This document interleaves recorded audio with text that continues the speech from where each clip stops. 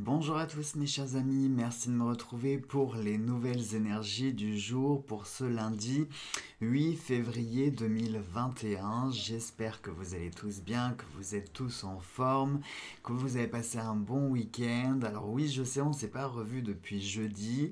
Comme vous pouvez l'entendre, je pense que ma maman m'a refilé sa merdouille puisque je commence à avoir la gorge qui est enrouée. en même temps, on est au mois de février et vous le savez, je vous l'avais déjà dit, moi c'est réglé comme du papier à musique le mois de novembre et le mois de février. J'ai beau faire absolument tout ce que je veux à titre préventif ou curatif, à chaque fois, c'est les deux mois où je suis malade. bon, croisons les doigts, j'espère que c'est juste ma voix qui est un petit peu, euh, qui est juste un petit peu euh, vacillante. Hein. Euh, alors ça me fait sourire parce que la semaine dernière, c'était, enfin la semaine dernière, oui la semaine dernière puisqu'on est lundi, c'était Solveig qui était à faune et là cette semaine c'est moi qui risque de l'être. Bon, je vous ai rien posté ce week-end parce que j'ai pas du tout, du tout, du tout eu le temps, mais alors vraiment pas. Pourquoi? Parce que euh, on a le petit là euh, pour une semaine complète, comme vous savez, c'est les vacances scolaires, donc il y avait plein de choses à préparer, des grandes courses, machin et tout, il y avait plein plein de trucs à faire. Hier, en plus, toute l'après-midi, j'étais à un atelier bien-être qui traitait sur euh, la consommation du sucre dans notre quotidien. Alors, je vous ferai certainement une vidéo particulière où je vous parlerai de cette cette dame hein, qui exerce.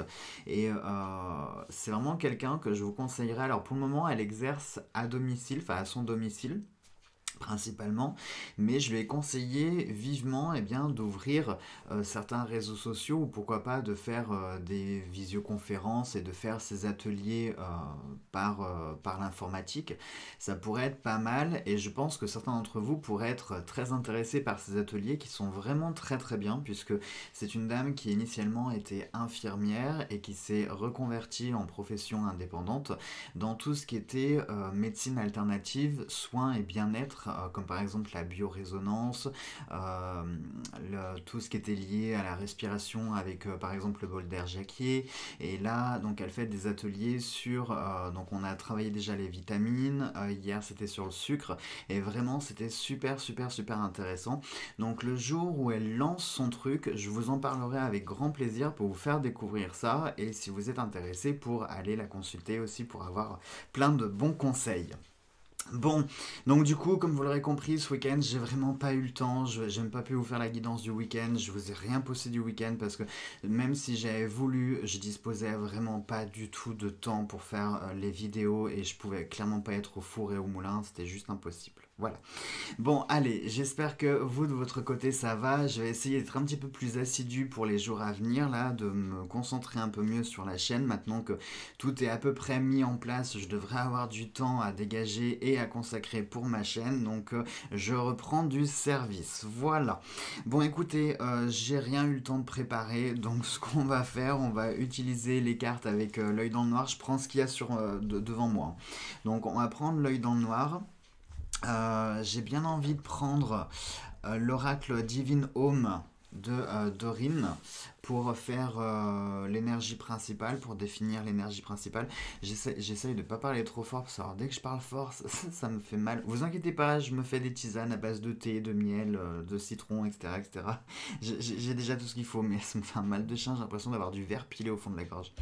D'ailleurs, euh, si vous voyez cette petite sphère là, c'est parce que j'ai rapproché le micro pour éviter de crier trop fort et que ce soit le micro qui vienne à moi, donc vous inquiétez pas, vous le verrez plus hein, dans les les, vidéos suivantes. Euh, on va utiliser aussi peut-être euh, l'oracle Sacré-Cœur. On va se faire un petit combo euh, spécial Dorine aujourd'hui. Dorine Gilbert, hein, pas Dorine Virtue. Elles portent le même prénom, mais ne sont pas les mêmes personnes. Et puis, je sais pas, peut-être le rond de cristal pour se faire une petite prédiction. voilà, une petite prédiction. Allez, on y va tout de suite avec. je voulais vous dire un truc important. J'ai oublié, j'aurais dû me le noter. Ah, je sais plus. Je sais plus ce que je voulais vous dire. Non, je sais plus. Tant pis. Je vous le dirai euh, certainement demain dans la vidéo de demain. Allez, c'est parti.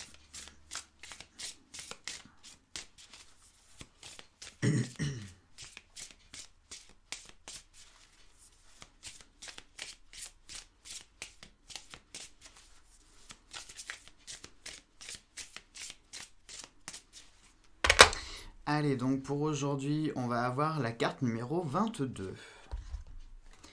Je vous la montre. Très jolie carte. Hein. Ah, de toute façon, elles sont, toutes belles. Mais ça, je vous l'avais déjà dit dans, dans les vidéos review. Allez, donc la numéro 22, elle va nous dire... La 22, une période de rencontre s'annonce pour vous. Chaque personne mise sur votre chemin n'est pas le fait du hasard et vous apportera une expérience qui sera bénéfique pour votre évolution personnelle et spirituelle.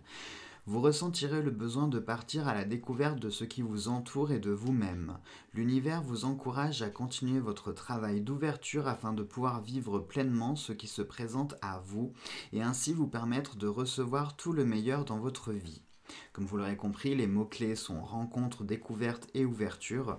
Et pour la petite phrase à l'univers, je demande à l'univers de m'aider à m'ouvrir au monde afin de recevoir le meilleur ici et maintenant. Alors, c'est très intéressant parce qu'en plus, comme c'est le début de la semaine, ici, ça nous parle de rencontres à venir. Il se peut qu'aujourd'hui, du coup, toutes les, enfin aujourd'hui, à partir d'aujourd'hui et dans les jours à venir, toutes les rencontres que vous ferez ne seront pas juste le fruit du hasard, elles seront certainement destinées parce que cette rencontre vous apportera quelque chose de particulier dans votre vie à ce moment-là. Ça peut être par exemple, euh, imaginons que vous traversiez une épreuve euh, un peu particulière en ce moment, et eh bien peut-être que vous allez rencontrer quelqu'un qui sera dans une situation similaire et par conséquent vous allez pouvoir vous apporter mutuellement.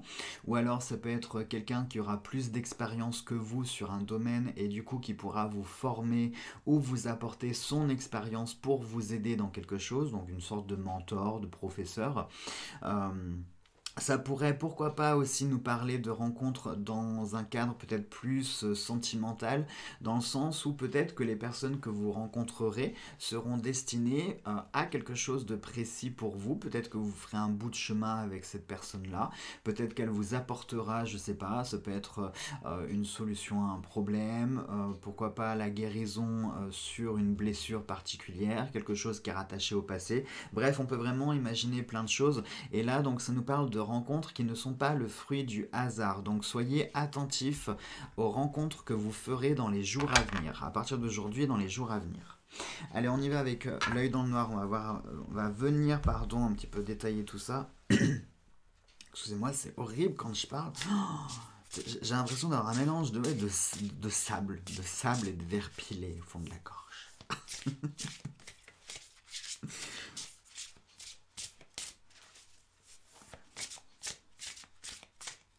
faut quand même qu'on m'explique un truc. Excusez-moi les amis, je suis en train de penser à quelque chose. Faut quand même qu'on m'explique quand même, ça, c'est, je trouve ça magique, c'est que depuis un an, on ne sort plus, on n'a plus de vie sociale, on n'a plus d'activité, on n'a plus rien du tout.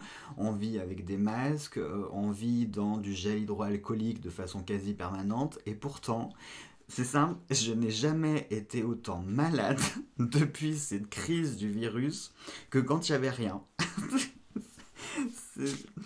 ça fait pas rire du tout en fait. Mais non, mais c'est vrai. Je pense que, mais je pense que c'est logique parce que du fait qu'on n'ait plus d'activité, qu'on ne sorte plus, qu'on ne fasse plus rien, notre corps eh ben, est très mal oxygéné. Euh, il est beaucoup plus fébrile. On a tendance à plus facilement choper toutes les petites merdouilles qui circulent dans l'air. Et, euh, et pour le coup, j'en suis un très bon exemple.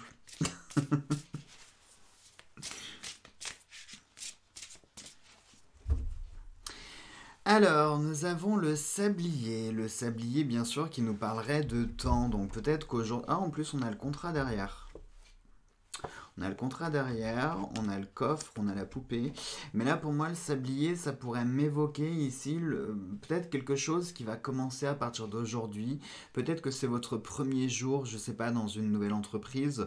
Peut-être que c'est le premier jour euh, de quelque chose que vous avez mis en place. Imaginons, je sais pas, un régime, n'importe quoi, on, s'en fiche. Mais euh, aujourd'hui, pour moi, ça pourrait marquer le début de quelque chose, le début d'un nouveau cycle et quelque chose qui pourrait peut-être prendre du temps ou qui va nécessiter du temps. Un sablier, le principe, c'est de le laisser s'écouler. Ça sert à rien de vous exciter dessus, ça sert à rien de le secouer, euh, ça coulera pas plus vite, euh, voilà.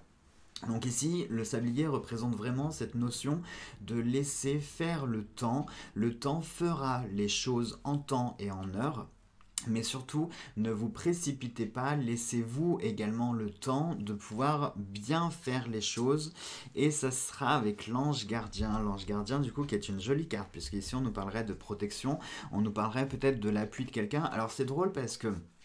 La carte numéro 22 du Divinome nous parlait de rencontres euh, qui ne seraient pas le fruit du hasard et de rencontres qui seraient voulues, qui seraient plus ou moins destinées.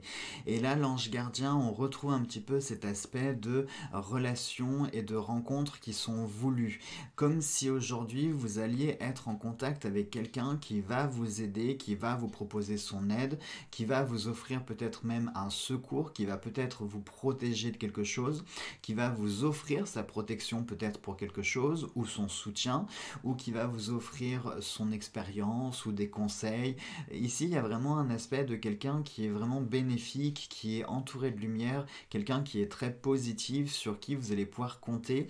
Et du coup, avec le sablier, il pourrait y avoir cette notion de relation qui dure, d'une relation durable. Donc peut-être qu'aujourd'hui, peut-être, hein, ça va peut-être être le premier jour d'une nouvelle amitié, d'une amitié longue qui va se faire. Peut-être, et je vous le souhaite pour ceux qui sont célibataires, ça pourrait nous parler d'une relation peut-être qui va se faire, qui va débuter, et pareil, qui serait durable dans le temps, qui serait quelque chose euh, qui va se bâtir, qui va se construire. Ça, pourrait, ça pourrait nous parler d'un nouveau projet aussi, peut-être qui va avoir le jour. À nouveau, comme je vous l'ai dit, ça pourrait nous parler d'une première journée, d'un début, de quelque chose qui commence à partir d'aujourd'hui, et vous aurez de l'aide. Alors peut-être que ça, ça sera, cette aide, elle peut prendre plusieurs formes. Soit ce sera une aide physique, c'est-à-dire vous aurez euh, quelqu'un type un mentor, un professeur, quelqu'un qui va vous aider, qui va vous conseiller, qui va vous aiguiller, qui va vous partager son expérience. Mais ça peut être aussi une aide plus spirituelle avec vraiment l'intervention de vos guides ou de votre ange gardien peu importe en ce en quoi vous croyez, hein. mais euh, les esprits qui vous protègent, si vous y croyez, et eh bien peut-être qu'aujourd'hui ou à partir d'aujourd'hui vont intervenir pour vous aider ou pour vous protéger d'une situation peut-être qui s'annonce soit difficile, soit potentiellement malsaine aussi, mais moi je verrais plus une situation difficile dans le sens où quand on débute quelque chose, c'est toujours un petit peu compliqué, surtout si on n'a pas d'expérience dans le domaine. Imaginons qu'aujourd'hui soit votre première journée euh, d'un nouveau travail dans une nouvelle entreprise, bah forcément vous n'avez pas euh, toutes les connaissances de l'entreprise, vous n'avez pas l'expérience qui va avec, et si en plus vous démarrez quelque chose de nouveau dans lequel vous avez très peu d'expérience, très clairement il vous faudra de l'aide et ça va s'annoncer comme étant un petit peu difficile. Voilà. Mais pour moi ici, il y a vraiment quelqu'un de bénéfique aujourd'hui ou à partir d'aujourd'hui que vous pourriez rencontrer ou que vous serez amené à rencontrer et qui vous offrira son aide. Allez, maintenant on va continuer avec euh, le divinome. Pas le divinome, le Sacré-Cœur.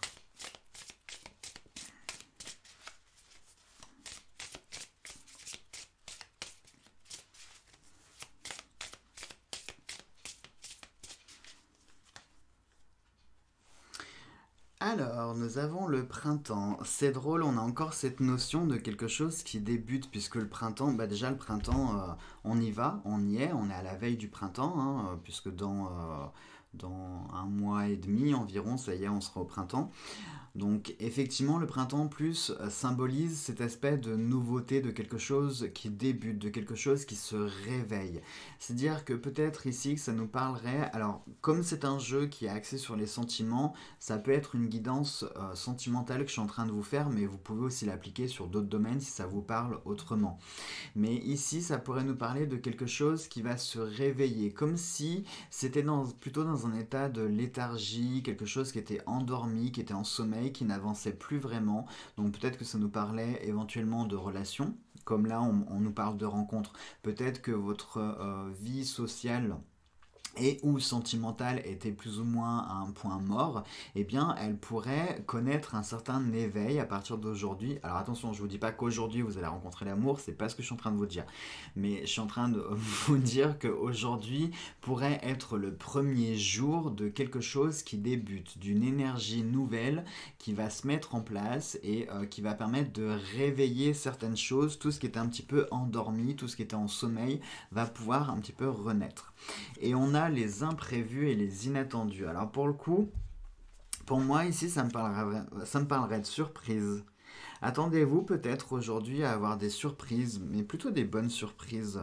Parce que, euh, après tout, à chaque fois que le printemps revient, il nous réserve toujours son lot de surprises. Il n'y a pas un seul printemps qui se ressemble. À chaque nouveau printemps, il y a quelque chose de nouveau. Qui dit printemps peut être synonyme aussi d'anniversaire, de prendre un an de plus, donc quelque part de prendre un peu de maturité, de prendre... Euh, et pareil, les anniversaires, il n'y en a pas un seul qui se ressemble. C'est-à-dire que jamais dans votre vie vous fêterez deux fois 40 ans. Non, vous aurez 40 ans une seule fois. Hein. Après, c'est 41 ou avant c'était 39. Mais vous aurez jamais deux fois 40 ans. Bon, à part euh, les nouvelles maths. Mais euh, ça, c'est autre chose. Euh, surtout les femmes. Excusez-moi, là, je vais, faire, je mon macho. Non, mais c'est vrai, les, dames, vous, êtes souvent bloquées à 35 ans. C'est extraordinaire. Plus les années passent et plus vous restez à 35 ans. c'est comme ma maman. Elle est, elle est restée éternellement à 40 ans. non, les hommes aussi. Franchement, ça, serait très sexiste de dire qu'il n'y a que les femmes parce que les hommes aussi, ils ont tendance maintenant un petit peu à mentir sur leurs âges aussi. Hein, donc, il n'y a, pas que les femmes. Mais voilà, pour vous dire que qui dit nouveau printemps dit nouvelles opportunités, nouvelles surprises, les choses qui vont se réveiller. Donc attendez-vous certainement, eh bien aujourd'hui ou à partir d'aujourd'hui, à gérer des choses eh bien, que vous ne pourrez pas forcément gérer dans le sens où il y aura de l'inattendu, où il peut y avoir de la surprise, où il peut y avoir des imprévus, et du coup, vous allez un petit peu devoir jongler face à ces choses, et vous allez devoir gérer en fonction de comme ça se présente à vous. Mais pour moi, quand même, je perçois plus des choses positives. Donc, attendez-vous peut-être à des bonnes surprises aujourd'hui. Euh, des bonnes surprises, ça peut être pourquoi pas des réponses, ça peut être une surprise vraiment, ça peut être un cadeau. Euh, si justement vous êtes en train de fêter votre anniversaire, peut-être qu'on vous organise une surprise aussi, pourquoi pas, je vous souhaite. Mais euh, moi je vois davantage des surprises dans quelque chose de plus général dans la vie, comme si c'était la vie elle-même qui vous préparait une petite surprise, peut-être pour vous aider, pour nous aider comme en ce moment c'est une période quand même qui est assez compliquée, où on a tous le moral qui est euh, en chute libre, hein, faut dire ce qui est. Donc c'est vrai que peut-être que la vie, pour nous aider, pour nous donner un petit coup de pouce, va nous mettre une petite surprise sur notre chemin pour essayer de nous remotiver, de nous redonner le sourire, de nous redonner un peu de motivation. Et franchement, ça serait pas du luxe. Allez, on va terminer maintenant avec euh, le rond de cristal.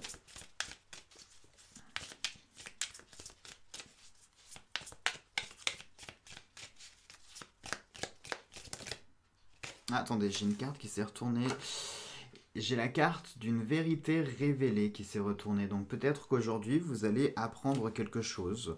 Vous allez apprendre une nouvelle, ou peut-être qu'il y a une vérité qui va se faire. Euh, ça peut être la vérité par rapport à un mensonge, ça peut être la vérité par rapport à une situation, ça peut être euh, le fait que vous avez des suspicions par rapport à quelqu'un ou à quelque chose, et peut-être qu'aujourd'hui, vous allez avoir l'information qui va venir vous confirmer ou non les, euh, les, suspicions que vous Mais ici, on parle de vérité.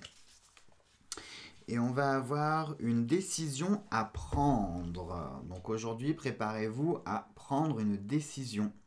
Sur quoi? Sur qui? Sur quel domaine? Je sais pas, vous aurez simplement une décision à prendre. Et on nous parle aussi de grosses difficultés financières. Alors, est-ce que la décision à prendre est liée aux difficultés financières? Est-ce qu'aujourd'hui, vous allez devoir prendre une décision parce que vous rencontrez des difficultés financières assez importantes en ce moment?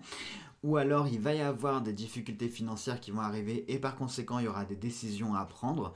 Comme euh, je sais pas moi imaginons que vous ayez perdu votre emploi. Bon c'est pas très gai l'exemple que j'ai trouvé je suis désolé. Mais imaginons que vous ayez perdu votre emploi euh, concrètement vous pouvez plus assumer votre maison euh, qui a un loyer de 1000 euros par exemple.